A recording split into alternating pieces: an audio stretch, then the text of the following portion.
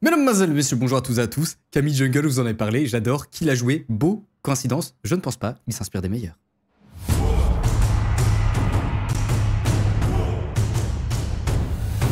Est-ce que je suis en train de vous dire que les meilleurs, c'est genre moi qui dis que Camille Jungle ça va être trop fort? Peut-être. Mais est-ce que Beau est en train de le faire et que c'est peut-être l'un des meilleurs junglers qu'on a actuellement en Europe? Il est dans le top classement et actuellement les meilleurs du classement européen, c'est des junglers, sauf que lui il joue quoi, les autres ils jouent pas en ce moment. Donc bon. On verra bien, Camille Jungle en tout cas, il part avec le rouge. Ok, du coup, globalement, comme j'avais fait, qu'est-ce qu'il joue comme rune? Conqueror, Triomphe, Alacrité, Coup de Grâce, les chaussures légèrement magiques et le Cosmic Inside. Moi, je joue plutôt avec le PTA pour augmenter les dégâts des alliés aussi, mais lui, il joue avec le Conqueror. Plus de sustain, etc. Comme ça augmente l'AD, ça augmente aussi les dégâts bruts. Ça se comprend tout à fait. Hop, Passing Jungle, qu'est-ce qu'on va faire ici? Bot, est-ce qu'il y a vraiment du setup de gank? Eh non On prépare sur le principe que les adversaires vont jouer de façon très agressive, donc il y a peut-être une option oui. Mais top, clairement, tu peux mettre un Olaf très bien face à une Fiora potentiellement. Et le match-up, je sais pas ce que ça donne. même s'il n'y a pas de CC que la Fiora peut parer, s'il ralentit la vitesse d'attaque d'Olaf, ça peut être un peu relou. Ah ouais, Olaf va chercher le trade direct. What? Ah ouais? Genre il gagne? Quoi qu'avec les auto-attaques et pour le coup... Oh, s'il touchait cette hache, il tuait. Il faisait la hache, flash auto-attaque et il tuait. Bref, on est sur un full clear ici du côté de Beau. Il a récupéré maintenant Ouais, ok, c'est assez rigolo. Il était parti sur les Krugs juste après. Là, il fait les Corbins, pas de souci. Il a pris le E en deuxième. C'est vrai que les Krugs, maintenant, c'est faisable vu qu'il n'a pas tous les moyens, etc. Donc pourquoi pas qu'il y a un petit peu de dégâts de zone apporté via le patch? Je trouve ça assez intéressant. Alors là, autant le Lucine et l'OHP, autant c'est... Ouais, ok, je me disais aussi que c'était un peu...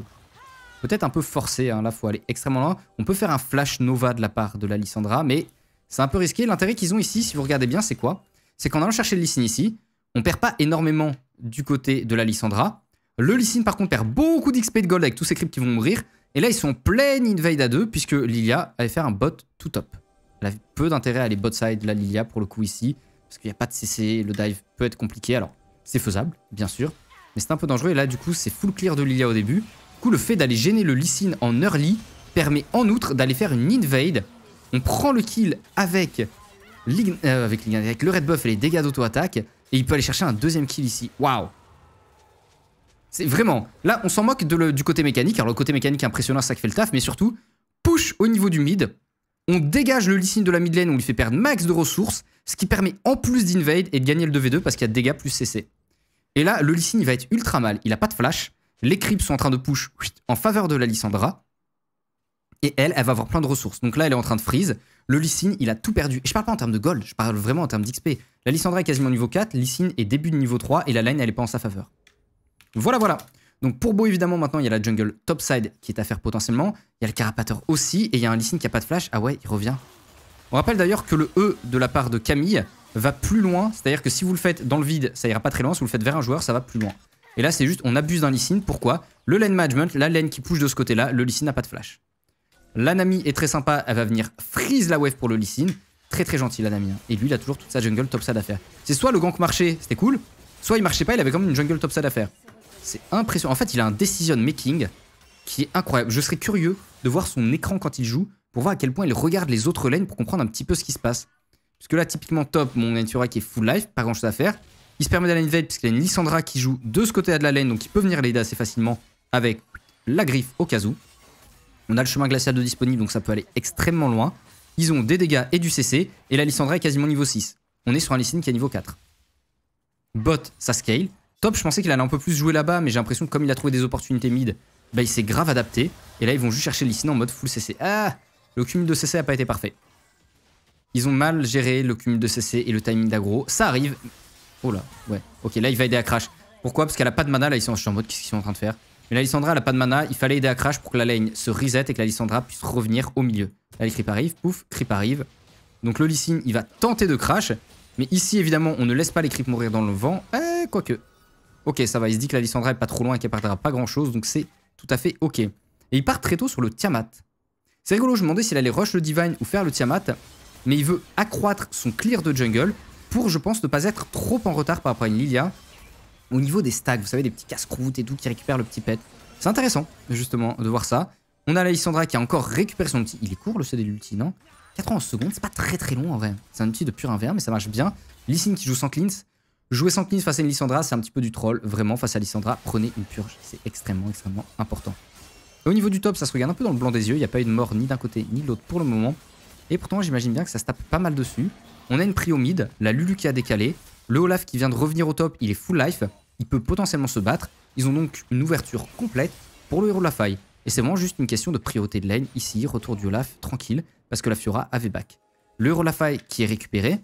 Et là, globalement, j'aime bien l'option de le mettre au niveau du mid pour débloquer au bout d'un moment la Lissandra. Évidemment, pas sur la première pack. Oh là là. Oh, le Lee j'ai l'impression qu'il s'y attendait pas à ça. Aïe, aïe, aïe. Le combo de CC Ultimatum X-Tech, prison glaciale ou sarcophage glace? Tombeau polaire. Ok, aucun des deux quoi. Tombeau polaire et hop. On met au niveau de la mid lane, on débloque la tour, on libère la Lissandra. GG wellplay quoi. C'est fou. Les games de Beau à chaque fois sont impressionnantes de capacité de snowball. Je parle pas des détails mécaniques évidemment qui sont extrêmement bien maîtrisés, ça y a pas de souci, mais dans l'intelligence de jeu de ce qu'il trouve à faire sur la map.